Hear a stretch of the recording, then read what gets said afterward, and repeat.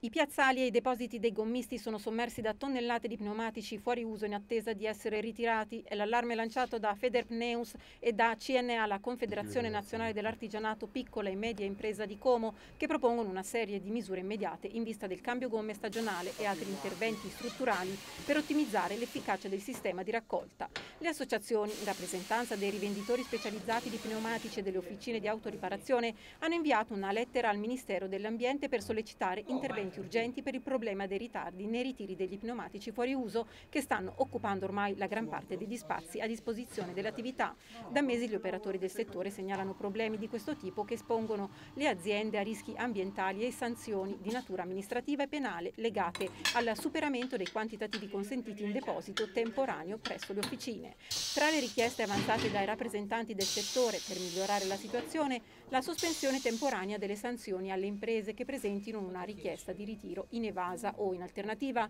un adeguato ampliamento dei limiti anche in virtù degli oggettivi effetti negativi derivanti sull'intera filiera dell'emergenza sanitaria e il rafforzamento dell'attività di vigilanza del Ministero sull'operare dei consorzi e degli altri operatori direttamente coinvolti nella gestione dei pneumatici. Il presidente di Federpneus Giancarlo Veronesi commenta la nostra richiesta di affrontare con urgenza il problema prima che il cambio gomme stagionali comporti un vero e proprio collasso del sistema.